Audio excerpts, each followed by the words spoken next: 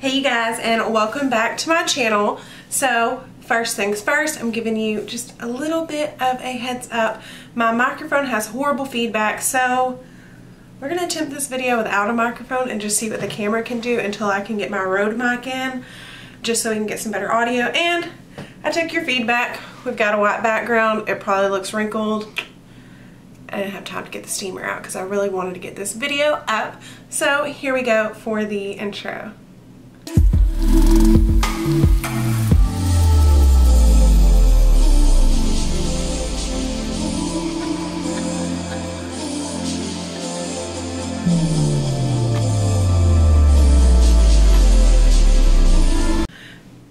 so um, BoxyCharm released some spoilers, I believe, today, which is Thursday, which is Friday for you, so yesterday. So I decided to take it upon myself to give you my educated guess on what these items were going to be. So they said we were going to get something from Smashbox and Laura Lee Los Angeles. I used my detective skills, figured out what was on sale from both brands, and uh, I think I know what we're getting and I have them both already on hand. And at the end of the video, I'm going to give you a few more spoilers of brands that we should be receiving maybe this month, maybe later on. I don't know, we'll see. But I'm to go ahead and try out these two things for you, tell you my thoughts because I've used them a lot. And that is what we're doing today. So, the first thing they spoiled is that we will be getting something from Laura Lee Los Angeles. Now, I was not aware of this, but I looked in some forums, and apparently her Cat's Pajamas palette has been on sale a lot recently. So, here's what the inside looks like. I literally have had this palette on hand since it launched. I'm a huge fan of Laura Lee, so I had to have that palette. And I guess if you want to click off the video now, I'll go ahead and tell you that our other item is of course Smashbox. I looked on Ulta and Smashbox's website. The only thing that really makes sense that we might get and we haven't gotten in a while is a Smashbox Photo Finish Primer.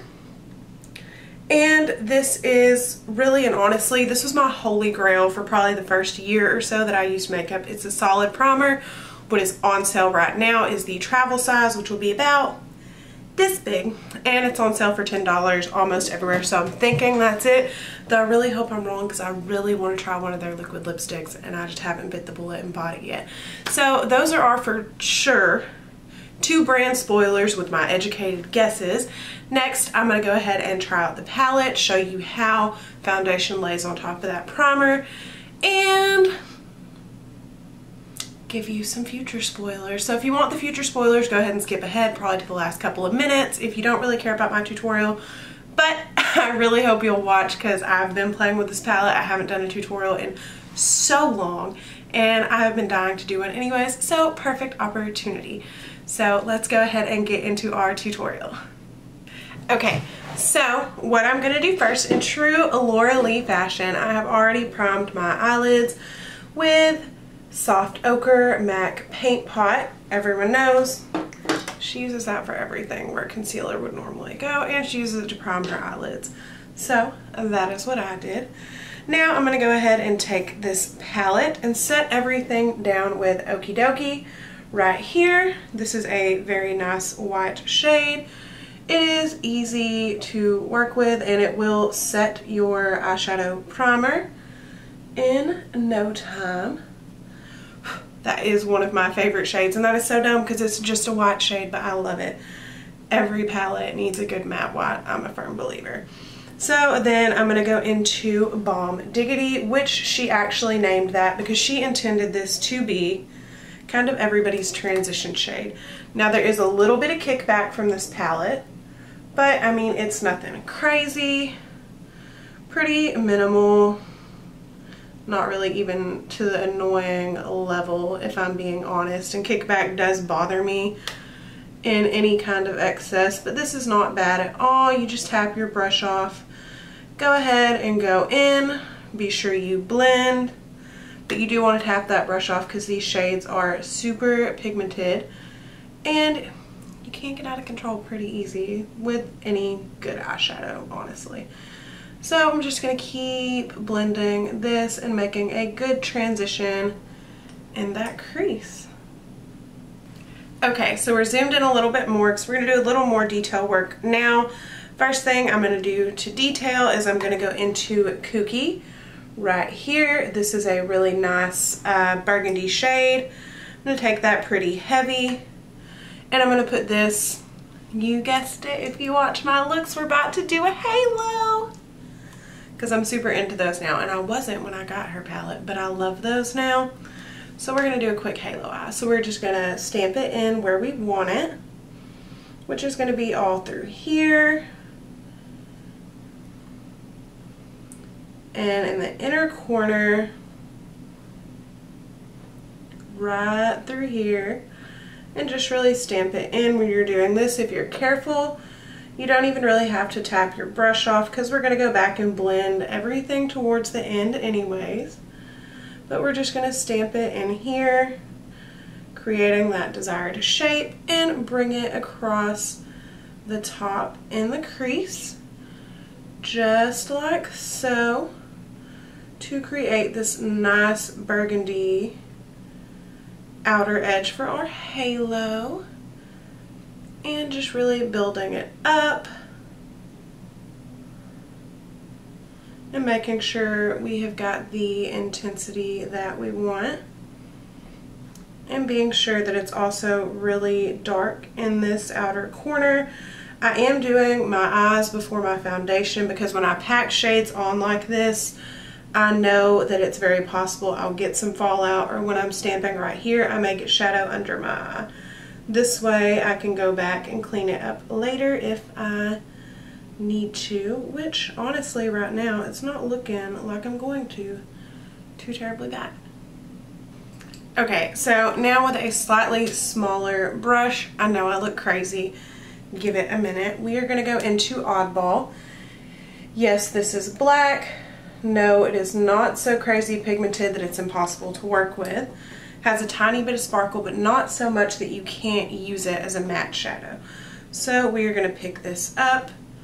Be sure to get that off, and we are going to deepen up this outer corner just a little bit. And we might have gone a little crazy, but that's okay. And we're just going to stamp this in this outer corner. We're not going to blow it out too far and just drag it across the crease a little bit, keeping it low. And then also take just the tiniest bit and dab it in this inner corner as well, just to make sure that we've got this nice and deep and dramatic. And that's where we're going to leave it for this portion of the eye. Okay, so that we can be sure this halo goes exactly like it's supposed to, we're going to take a little bit of this MAC paint pot on a flat brush and just lay it down right here in the center where we are going to put this halo and drag it up and over to be sure we have got a blank base to lay down. You guessed it, our shimmer. Okay, so on top of that, we are going to take In One Ear, which honestly is one of my favorite colors in this whole palette. It is so pigmented. It is just incredible. And we're going to take it on a flat shader brush and pick it up and place it over that concealer. And we may go back in with a finger in just a second to be sure this is super intense, but honestly, it is working super well with just this brush. And I know, I know, this is not very halo-y yet. Bear with me, we will get there, I promise. But this does work incredibly well with just a brush. This is completely dry. That's what I love about Laura's palettes. They do intensify if you wet them. But I mean, honestly, you don't have to, which is super nice in a shadow. I always appreciate that. Okay, so for the final step on the top of this eye, we are going to take Scatterbrain, which is a super gorgeous light gold right here. And look at what we're going to do. We're going to take this shade, same brush, and pop it right in the center And this is going to further give us that spotlight effect and just make things even brighter than they already are which honestly it's looking pretty dark but this will bring some light to this look and it blends so good.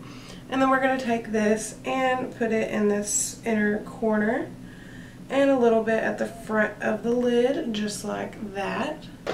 And for our last trick we are going to take out the other. This is a bit of a satin and we are going to take it on my favorite brush for my lash line and we're just going to bring this really close in. This is a bit of a purple satin and we're going to bring this super close in on the lash line and see what it can do and I think this really matches with that crease super well. So I'm going to go ahead and put the primer on and give you a little bit of details about that. Then I'll go finish the rest of my face off camera like usual.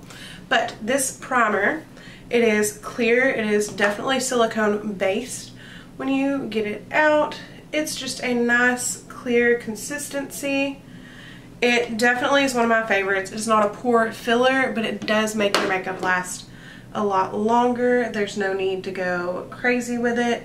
Just a little on the cheeks, the forehead, and the chin. And it goes a super, super long way. So you don't need a lot. So even if we do get this and it is the travel size, it'll last for quite some time.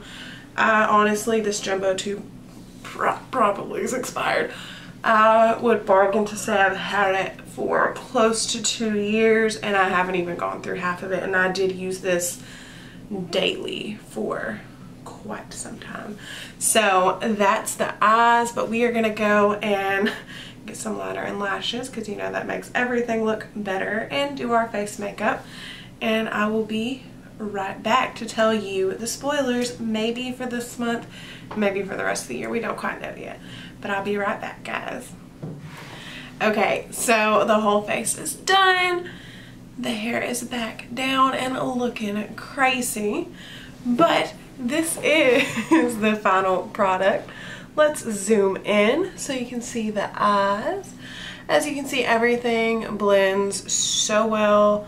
Super pretty. I used everything dry, you know, trying to give it its own shot to do everything on its own and everything layers on top of that primer like magic. I absolutely love it. So here is what I have to say about these products. I've already told you these are products that I already know that I really, really love. And I'm so excited that everyone's going to get a chance to use them. Of course, if that is for sure what we get, they're going to go in a giveaway. Yay, giveaway. And y'all already know I have my 5K giveaway going. Whenever y'all decide to get me to 5K, you know, we will give away a big bundle of stuffs. But Okay, so for the rest of the year spoilers, what I have heard, eh, I don't know for sure, we never know for sure, but what I have heard is that there will be some Kat Von D, and there will be some Hank and Henny, which I think with that it's going to be one of their eye duos. I think that's what they are um, with Kat Von D. If I had to guess, I know Allure just had a Kat Von D box um, that did include, some of them had the Longwear liquid lipsticks, not mine.